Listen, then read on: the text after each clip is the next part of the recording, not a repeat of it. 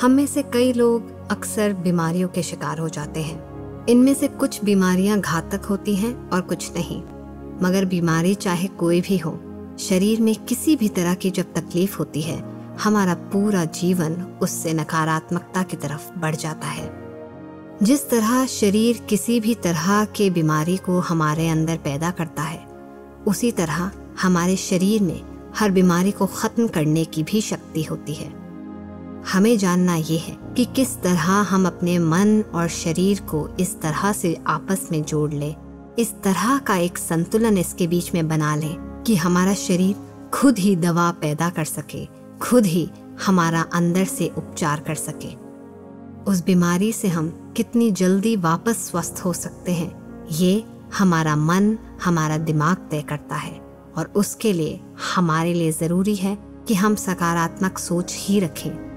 चाहे कितनी ही घातक बीमारी हो चाहे आपको हो या आपके किसी दोस्त यार या परिजन को हमेशा उन्हें एक शांत और सकारात्मक मन रखने के लिए सलाह दें। उसके लिए सबसे अच्छा तरीका है ध्यान।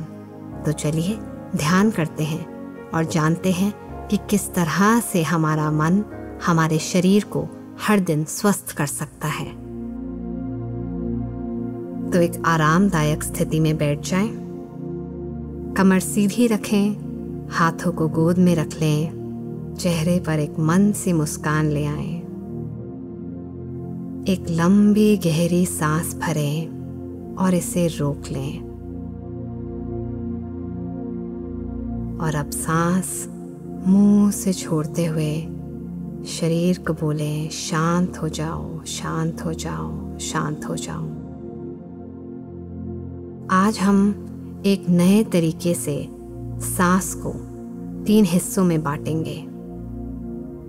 हम चार गिनती तक सांस शरीर में भरेंगे, उसके बाद सात गिनती तक इसे शरीर में रोकेंगे और अगले आठ गिनती तक इसे शरीर से बाहर निकालेंगे, जैसे पानी के अंदर रहने के बाद जिस तरह से हमें सांस लेने की दोबारा ज़रूरत पड़ती है, उसी तरीके से हम नई सांस लेंगे।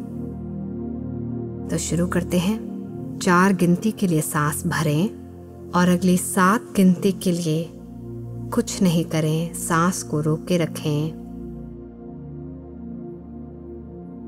शुरू में ये शायद कम ही हो पाए तो जितना हो सके उतना ही करें और अगली आठ गिनती तक शरीर के हर हिस्से से सांस को बाहर फेंकते जाएँ, छोड़ते जाएँ।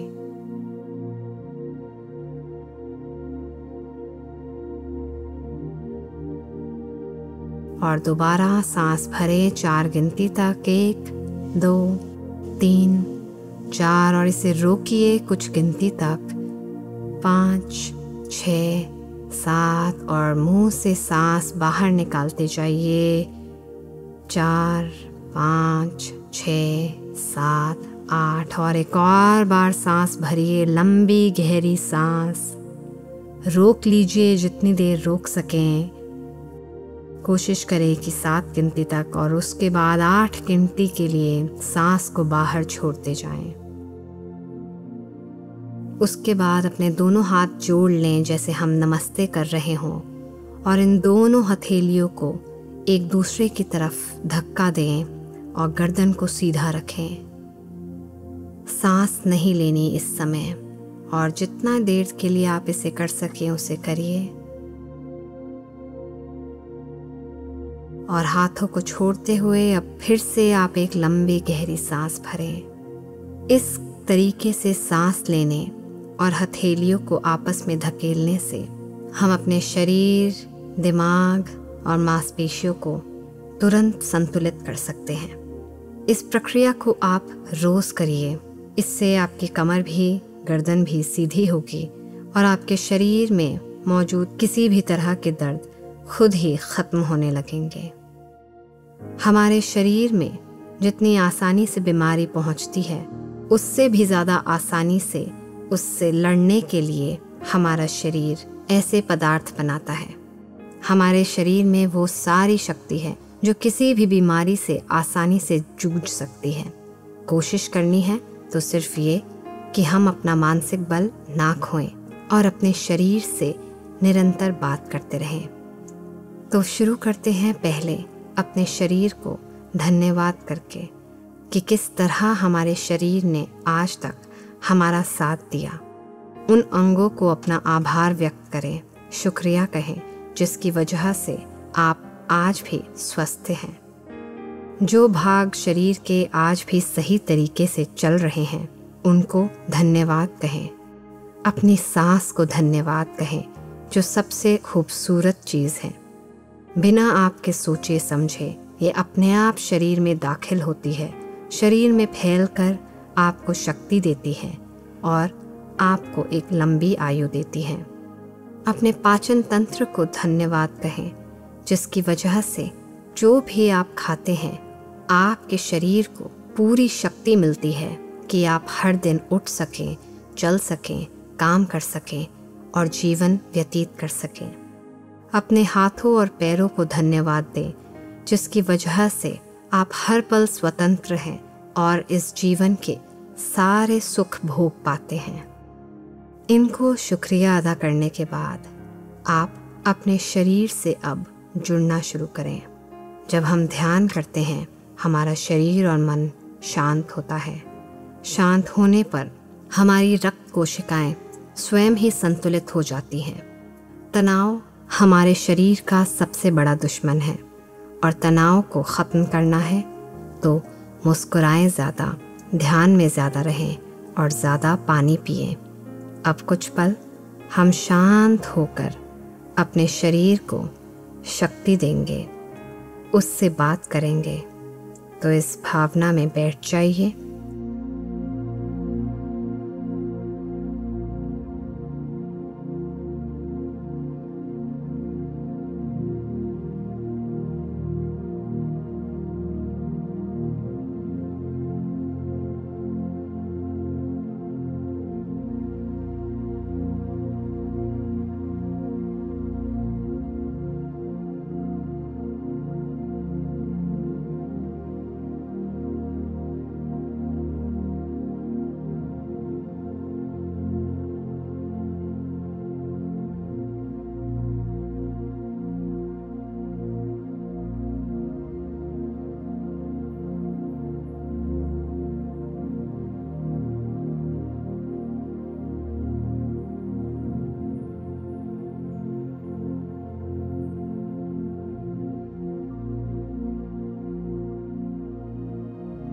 अक्सर जब भी हमारे शरीर में किसी तरह का कष्ट आता है तो वो हमारे भावों के रुकने की वजह से आता है।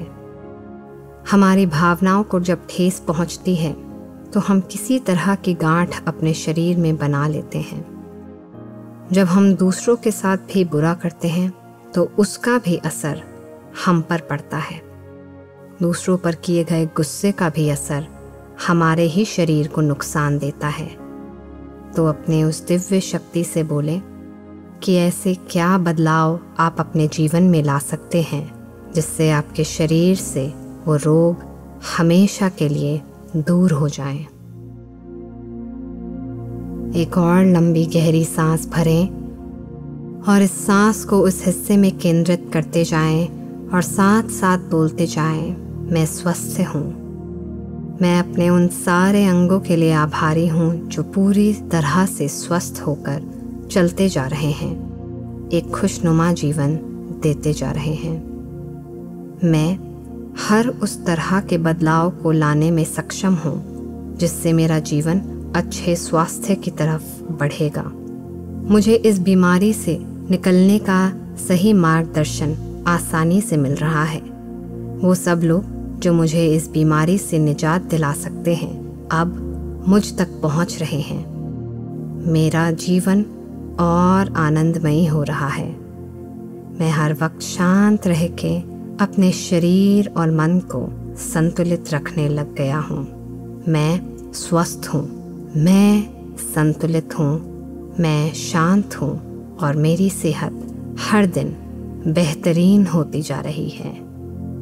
मैं लंबी गहरी सांस लेकर अपने शरीर को वो सारी ऊर्जा देता हूँ जिसकी मेरे शरीर को ज़रूरत है।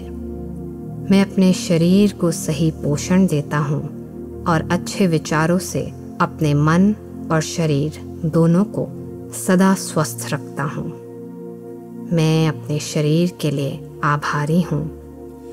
अब दोनों हथेलियों को आपस में रगड़ के अपनी आँखों पे रखें, धीरे से आँखें खोल लें।